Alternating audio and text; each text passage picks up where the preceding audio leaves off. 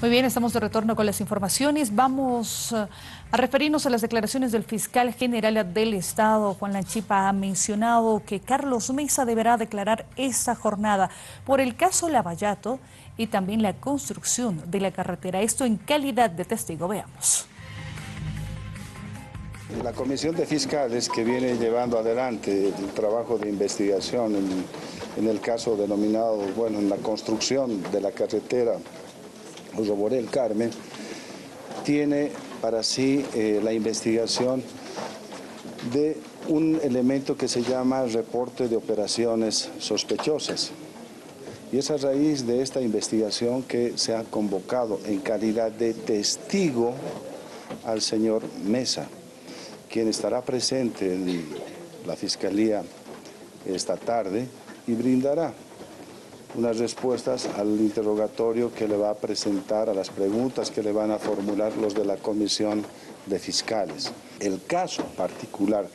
de esta tarde se refiere a la investigación que se inició en la Asamblea Legislativa y que nos han remitido esta información y que el Ministerio Público ha asumido conocimiento y está llevando la investigación. Reitero, es en este tema de la construcción de la carretera Roborel Carmen donde en el informe que nos ha enviado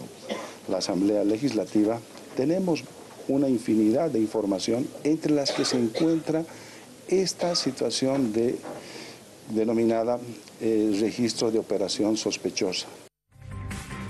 Eso es lo que mencionaba esta jornada el eh, fiscal general del Estado, los motivos por los que se está convocando a declarar al señor Carlos Mesa esta tarde a partir de las 15 horas. También el ministro de Comunicación, Manuel Canelas, le pide a Carlos Mesa no electoralizar este tema y de hecho también exige una explicación en el tema impositivo, evasión de impuestos, que es lo que se está mencionando a raíz de que no coincidan las cifras con los documentos presentados.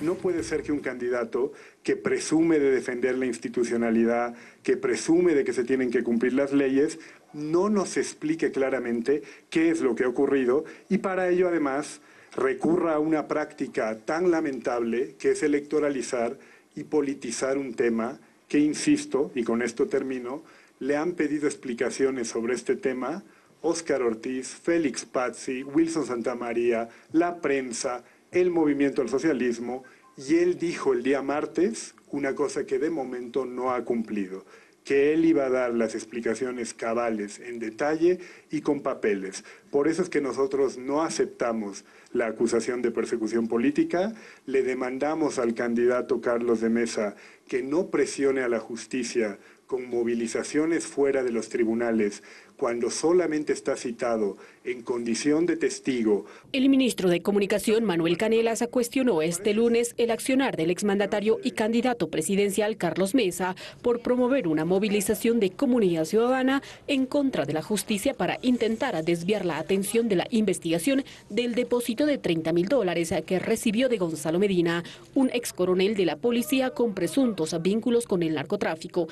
una persecución política. El problema de la defraudación y la evasión de impuestos es un problema serio para los países en desarrollo. Que sea una práctica común que llevan adelante varios de nuestros compatriotas no lo vuelve bueno no lo vuelve bueno. Las haciendas públicas de los países en desarrollo sufren de pérdida de recursos por la evasión y la defraudación tributaria. Además, se sospecha de una posible evasión de impuestos por una transacción de compra-venta de un departamento el año 2010, aunque el entorno del candidato señala que son acusaciones políticas que buscan mellar su imagen para restarle votos en la elección de octubre. De lo que se trata, amigos y amigas de la opinión pública, es de un desmedido ataque político electoral que está buscando ponerle eh, trancadilla eh, está buscando que no avance la candidatura de Carlos Mesa, lo que no van a conseguir. Yo les aviso a la gente del MAS,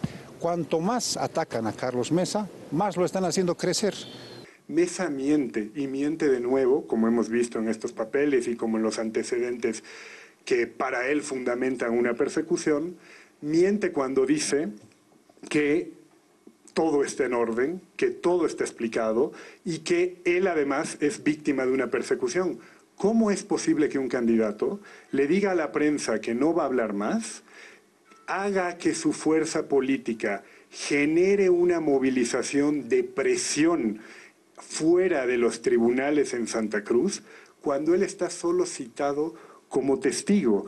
El depósito data del 16 de junio del 2009 en el Banco Mercantil Santa Cruz, una de las cuentas que posee el exmandatario y fue detectado en la investigación sobre su patrimonio, que estuvo a cargo de la Unidad de Investigaciones Financieras en el marco de la denuncia de presuntos sobornos de la empresa brasileña Camargo Correa, más conocido como el caso Lavallato.